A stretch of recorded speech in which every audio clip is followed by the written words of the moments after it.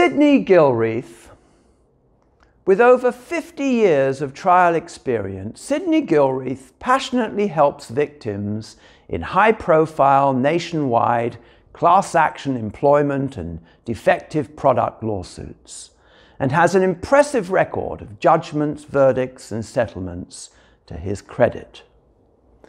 A graduate of the University of Tennessee College of Law, Sid has tried cases in over 10 states and represented plaintiffs injured or killed in airplane crashes and vehicular torts, including fuel tank explosions and overturned three-wheelers, victims of toxic torts due to exposure to asbestos or contaminated groundwater, and he's represented the casualties of medical mistakes as well as railroad workers and others hurt on the job.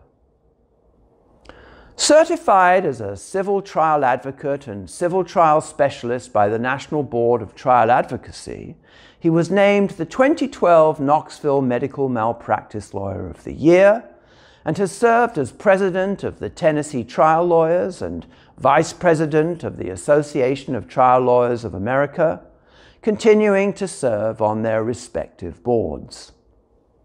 Other prestigious memberships include the American College of Trial Lawyers, the International Society of Barristers, the American Board of Trial Advocates, and the International Academy of Trial Lawyers.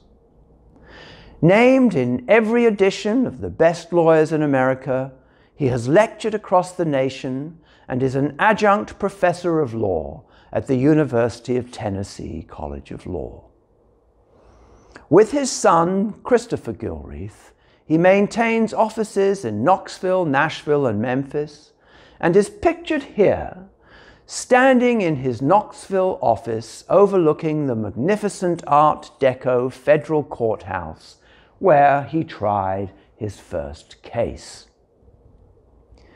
In his own words, I have logged more than 4,000 hours as a pilot in command of an aircraft.